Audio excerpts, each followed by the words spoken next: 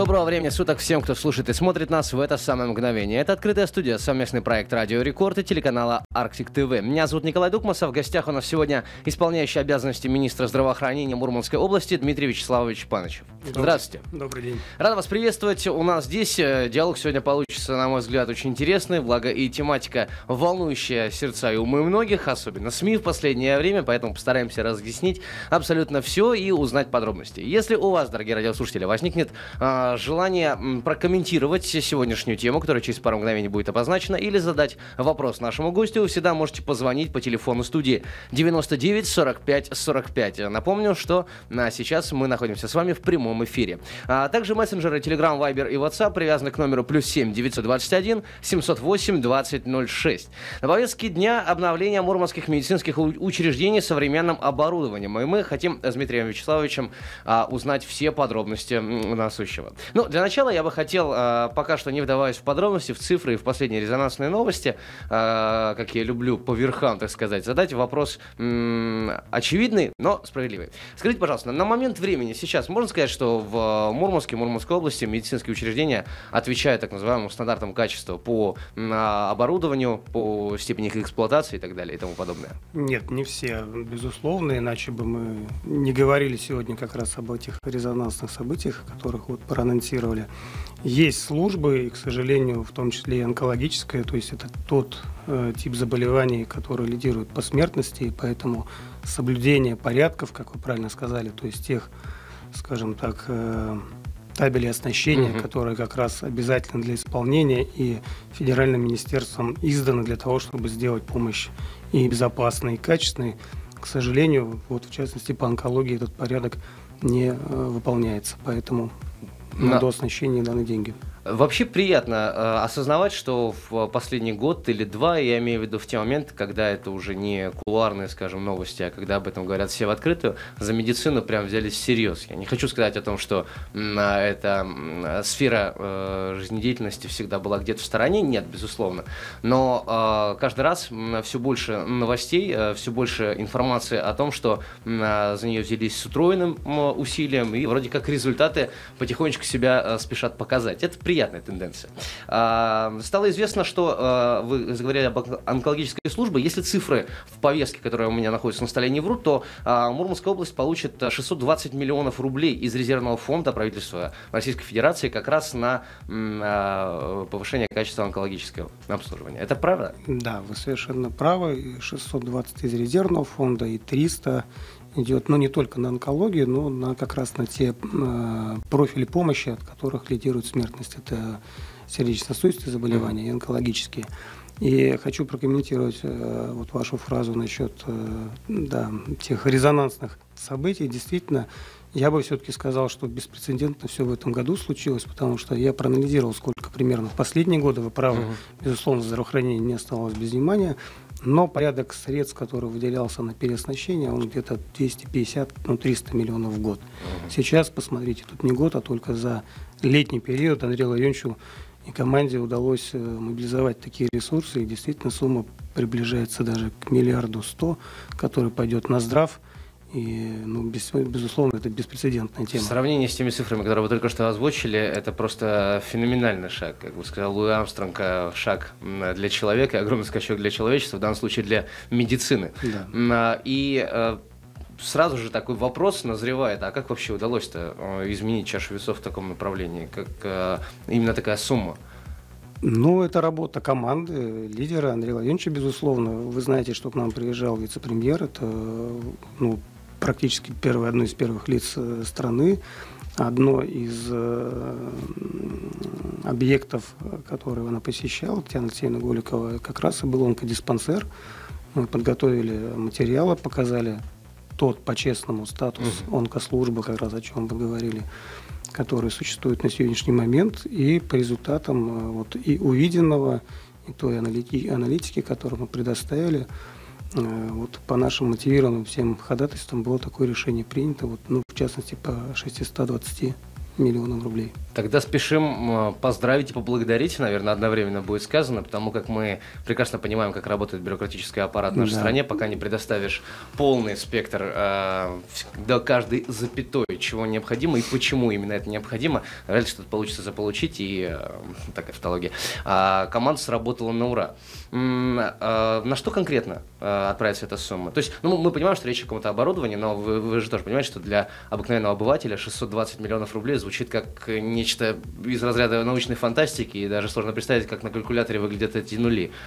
Ну, вы знаете, э, медицинское оборудование достаточно дорогое, и особенно там, где э, подключаются высокие технологии, да, они, естественно, вещи все эти очень ресурсоемкие, поэтому хоть цифра действительно в обывательском смысле какая-то космическая, но на самом деле там э, аппараты и аппаратура, и количество ее, с учетом того, что онкологическая служба не концентрируется только в онкодиспансере, угу Здесь э, действительно, ну, все многие понимают, что есть определенная этапность. То есть сначала мы должны обеспечить скрининг, то есть отсев, да, скрин, скрининговые mm-hmm. мероприятия, выявить, э, пропустив большое количество там, пациентов через вот эти э, исследования первичные, понять группы риска, и дальше уже выявить на ранних стадиях эти заболевания и с помощью тоже э, там высокотехнологичных методов диагностических уже, и потом направить на следующий этап, там, где необходимо лечение, чтобы сразу, как говорится, вот в зародыше эту болезнь вылечить. Поэтому э, на ваш вопрос, отвечая, первое и, наверное, больше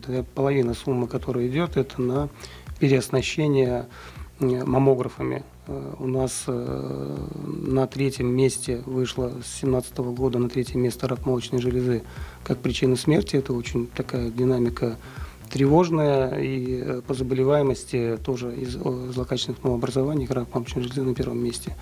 Поэтому для того, чтобы вот это движение, негативную тенденцию как-то пресечь, мы э, переоснащаем абсолютно весь парк э, маммографов. Mm-hmm. Это тот рентгеновский аппарат, который как раз и позволяет выявить на, равных, на ранних стадиях э, в рамках э, скрининговых мероприятий это Возможно, заболевание. Да, у нас э, мы заменяем 14 маммографов во всех районных и городских больницах, где они стоят.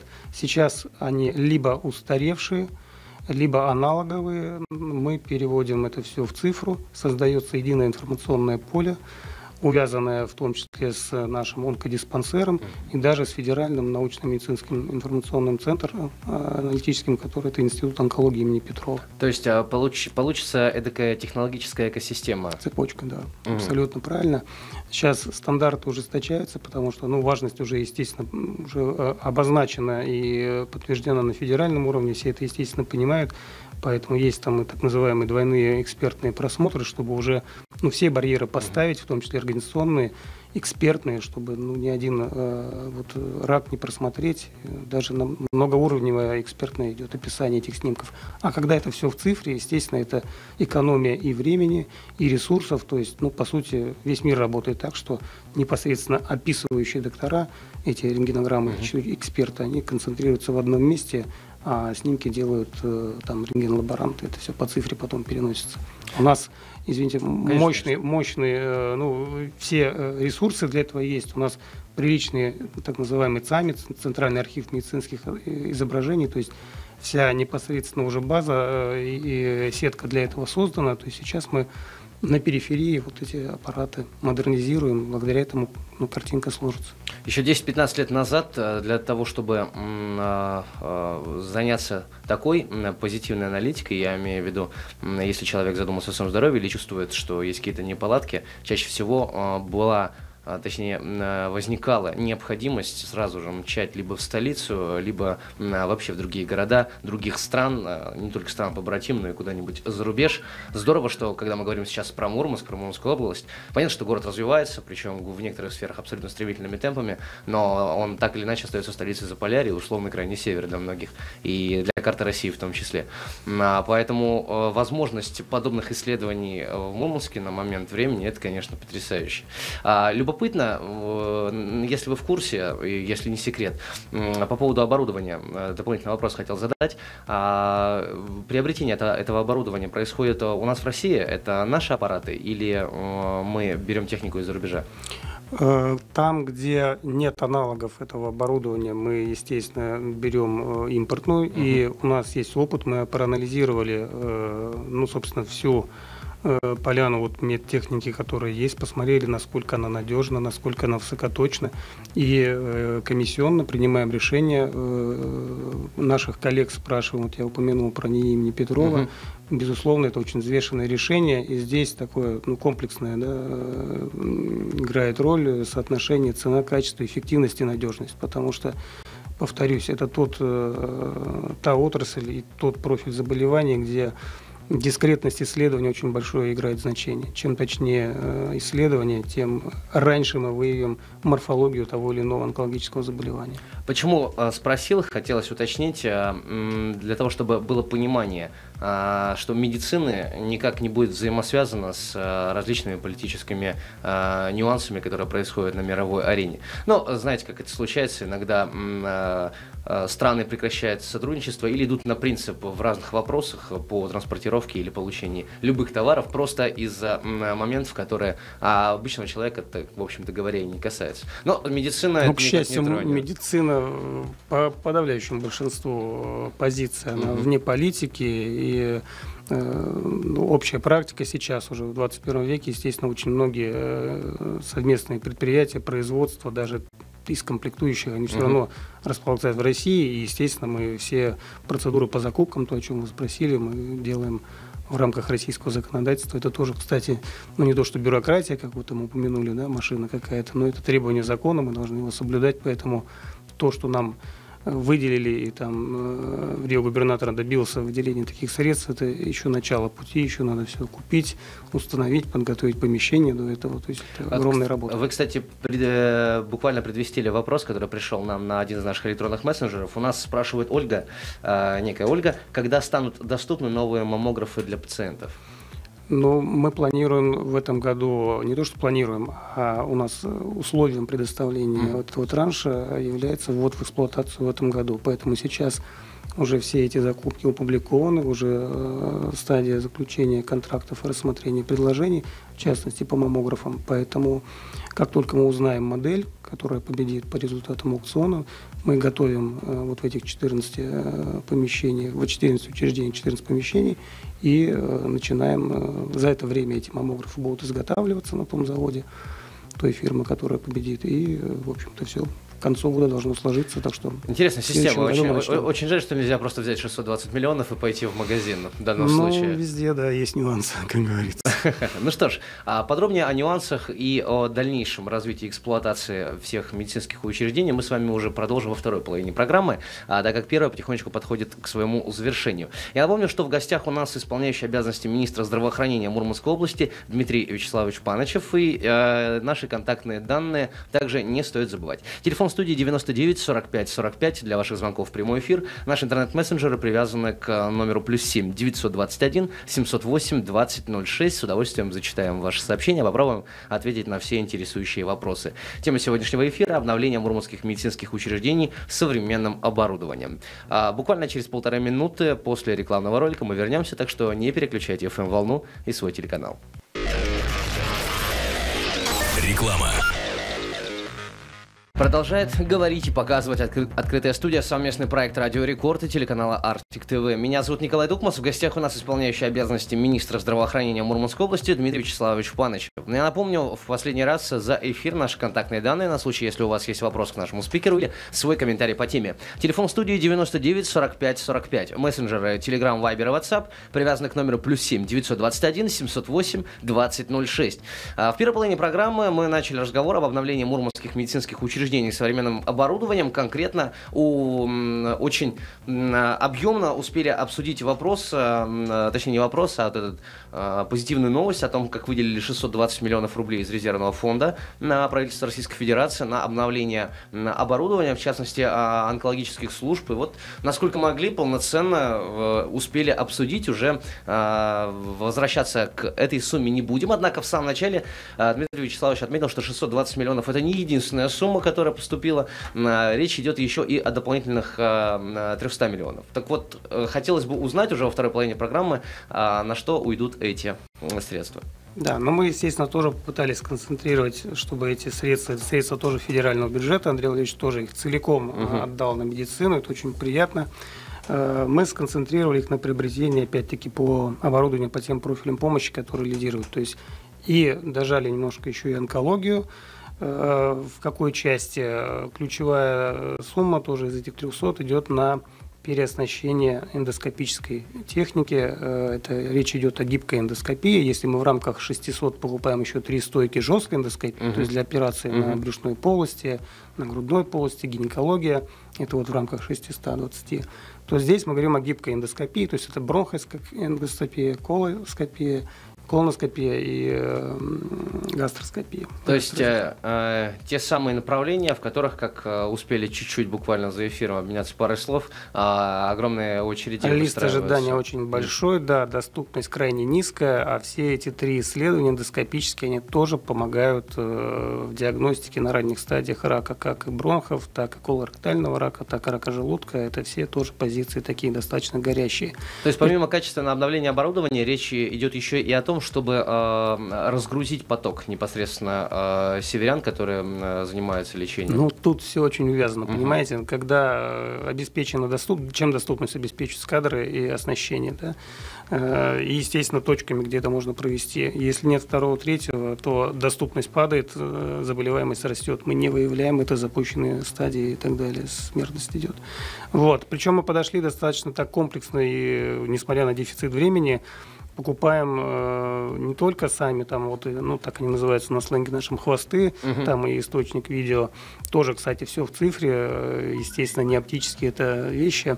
Вот. Э, покупаем не только само оборудование, но и то, что позволит его максимально, с максимальным КПД э, использовать и максимально долго. То есть это и моечные машины, которые обеспечивают э, эпид-безопасность, да, поскольку после каждого исследования нужно мыться. Это даже шкафы до хранения, поскольку это очень ломкая техника и хрупкая, и высокоточная. То есть вот так даже тележки там где-то э, для перевоза, где крупные отделения эндоскопически оснащаются. А, здорово. А, не так часто об этом э, задумываешься, когда э, так просто прокручиваешь голове или с кем-то обсуждаешь, неважно, это твой знакомый по личной клетке или какой-то человек, задействованный в индустрии, а, о, атмосфере, которая предстает перед пациентом, когда он готовится пройти какие-то исследования. Гораздо приятнее приходить в в больницу, какое-то медицинское учреждение, когда а, ты видишь, что все свеженькое, все новенькое, тебя не гнетет и не давит там облезлая штукатурка и скрипящая тележка, которая сразу оставляет тебе просто беги, беги, уходи, лучше сделай все сам, приложи подорожник, да. Но теперь мы этого точно избежим. А, значит, э, эти 300 миллионов, они пойдут на вот все, что вы перечислили? Да, онкология, еще угу. важные, буквально два слова, Конечно. это э, тема сердечно-сосудистых заболеваний, безусловно, э, это тоже важнейшее направление, и здесь мы покупаем для э, двух наших учреждений, стресс-эхо, даже для трех и для городской бывшей больницы, ну, сейчас многопрофильный центр, а, областная больница и Мончегорск, где наш межмуниципальный uh-huh. центр, по сути, который закрывает э, центр юг области, ну, так называемый аппарат для стресс-эхо, то есть это такой микс велоэргометрии и эхокардиоскопии УЗИ сердца. То есть нагрузочная проба, и мы смотрим, как меняется работа сердца. Это опять скрининговое Верно, такое, как. да, скрининговое скажем так, исследование, которое делает, э, объективизирует показания к направлению потом на коронарографию. Для того, чтобы Мы как раз э, буквально несколько дней назад общались о диспансеризации, и вот нам достаточно подробно в эфире объясняли, что есть из себя странный термин э, скрининг, для чего он необходим. Скрин это сито по-английски. Да, да, да, да, как раз получается для того, чтобы понять, э, кто здоров, да, кому нужно идти дальше на дальнейшее обследование или уже на лечение. А, по, по вопросу лечения э, пришел еще один комментарий. на Анна Михайловна давно спрашивают, э, для лечения детей появится новая техника? Да, в этом году также мы уделили, безусловно, внимание э, педиатрии, в частности, в детской нашей областной больнице. Как раз э, Андрей Владимирович был с визитом, смотрел это учреждение, и вот в ходе общения с персоналом подошла заведующая хирургическим отделением, попросила найти средства для лапароскопической стойки. Ну, естественно, значит, они, мы, этот, они были мы эту просьбу, мы эту просьбу, да, сейчас выполняем. Средства нашли за счет там экономии по торгам. И э, новейшая эндоскопическая стойка, лапароскопическая, будет до конца года приобретена, поставлена, пущена э, в эксплуатацию и позволит, естественно, на новый уровень хирургию детскую перевести, потому что это, ну, во-первых, и меньшая хирургическая агрессия за счет да, вот таких маленьких разрезов, маленьких инструментов. Это более быстрое восстановление, это меньшая частота инфекционных осложнений. Ну и это, в общем-то, 21 век. И помимо этого у нас оборудование и наркозно-дыхательное поступает э, в этом году э, в детскую областную больницу без анестезиологии интенсивной терапии никуда ни одна больница не денется. Конечно. Переоснастили лор-отделение, новые операционный микроскоп для вот, операции на барабанной перепонке. То есть э, по-прежнему как бы детство. Эх, эти бы аппараты, да в мое детство, как сказали, да. отделение, сразу дрожь пошла. Приятно, естественно, не подумайте чего.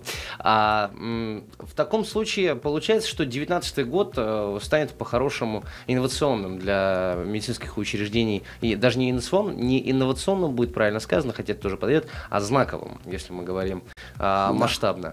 И вы сами очень точно сейчас сказали, 21 век, пора бы уже, собственно говоря. Всегда, это не всегда, часто, когда речь заходит об обновлении медицинского оборудования, и э, особенно в те промежутки времени, когда говорили о том, что, ну, извините, сейчас никак, или, ну, посмотрите, насколько, сколько всего нужно тратиться, в пример приводилась э, маленькая страна Сингапур, которая, конечно, не без проблем, э, видоизменив ветку власти своей, они настолько сильно шагнули в медицине, что теперь, допустим, активно сотрудничают с французами по разработке различных щитов для сердца, которые встраиваются внутрь человека. Кто знает, кто знает, может быть, и Мурманская область в свое время, время ее настанет, и она шагнет вперед настолько далеко. Я в этом уверен.